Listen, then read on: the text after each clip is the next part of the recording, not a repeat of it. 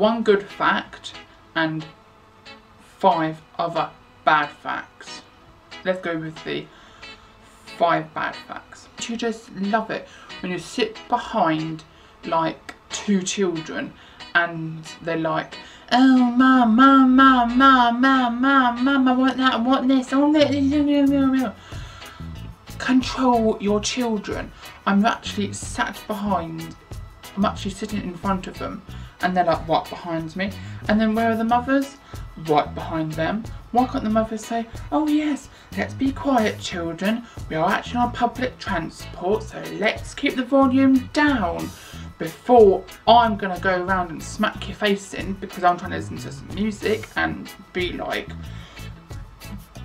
nice and quiet on the bus and then you let your children go absolutely bonkers. It's all those blinding blue sweets you give to your children or something to give your children like hyperactive fits or whatever on the bus. Please control your children. It is really annoying. One, when you're sitting on a bus, oh my god, that's why I actually push into the front to get a really good seat because you're like, oh, oh, I need to get in a good, I need to get in a good seat, and then person who's in front of you, or sometimes I actually let people go in front of me, you actually need to stand behind someone who's like nearly 2,000 years old and they're going, oh, I'll be there in a minute, Sonny. Oh, I need to get on the bus. Oh, my leg can't get up. Oh, like that. Oh. Honestly, shouldn't you be in a home or something and you get like your own old biddy transport or something? Not like make me wait, wait, wait, I'm going to get on a bus. And then while on the bus, don't you just like it? Or bet you some of you people go on the bus as well. But when you're on the bus, all the old people sit at the front and that's why I actually need to sit at right at the back on the back seats at the back of the bus and then who sits at the back of the bus? Loud noisy children Heavens above! Loud noises, oh my god! Can they actually make a phone which actually blocks out sound or even headphones? That'd be so much easier than like turning up your volume. And it says on the side of the bus, please keep your volume down on your mobile devices or MP3 players. I would be able to if you shut your children up. Heavens above! Like a and vicious circle is, isn't it? And the thing what I mostly hate, a bus can only fit four buggies in, or four buggies and two wheelchairs. Really, people, if you're to have a baby, or if you don't actually want to have a baby, blinding put something up there or something on him or actually close your legs or something.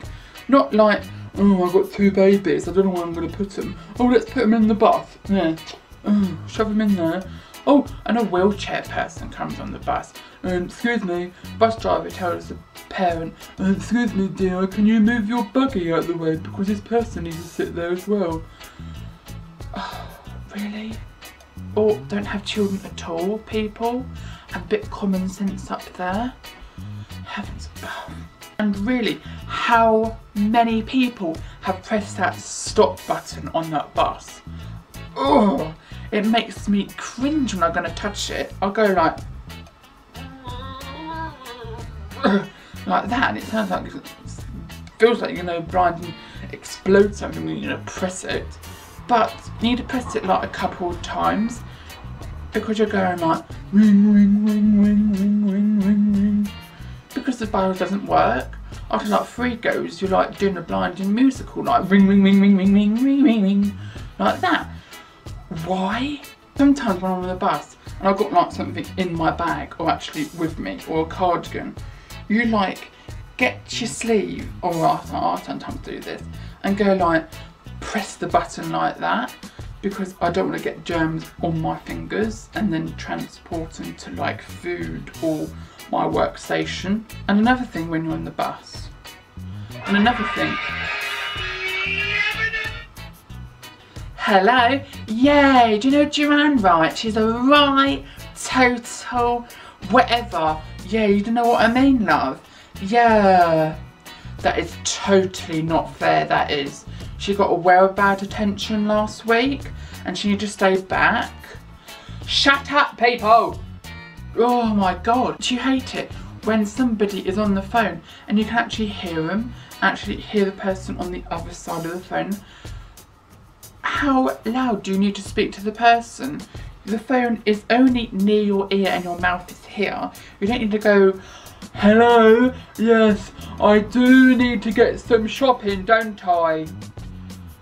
Honestly, could you really lower your tone a bit, saying, yes, I do need to get some ketchup at the shop. You don't go like, yes, I do need to get ketchup at the shop, don't I? Like that. Really, do you need to really shout until everybody on the bus can hear you?